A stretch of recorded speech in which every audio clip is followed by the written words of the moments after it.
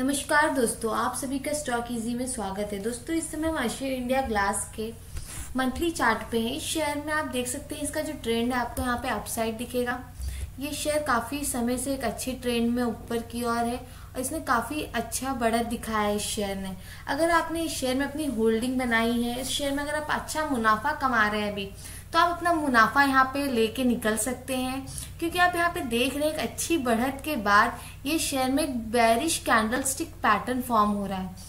इससे हम bearish engulfing candlestick pattern कहते हैं। जो बैरिश कैंडल स्टिक पैटर्न होता है, वो हमेशा अप ट्रेंड में बनता है।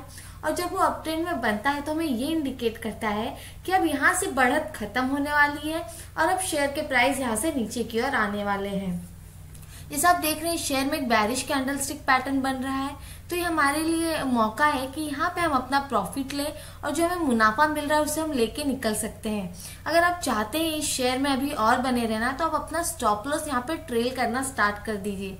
अगर इसी शेयर को आप वीकली और डेली चार्ट पे देखेंगे तो आप यहाँ पे देखेंगे किस तरह इस शेयर में यहाँ पे आपको गिरावट देखने को मिलेगी।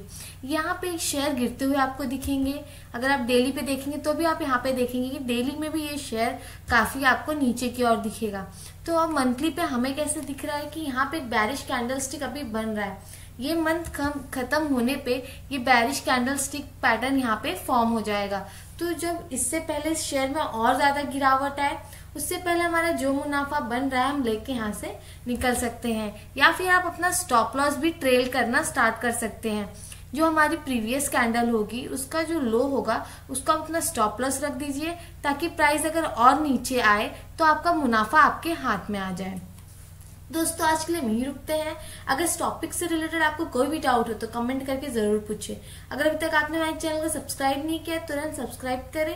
मैं आपसे जल्द मिलूँगी एक नए वीडियो में एक नए टॉपिक के साथ।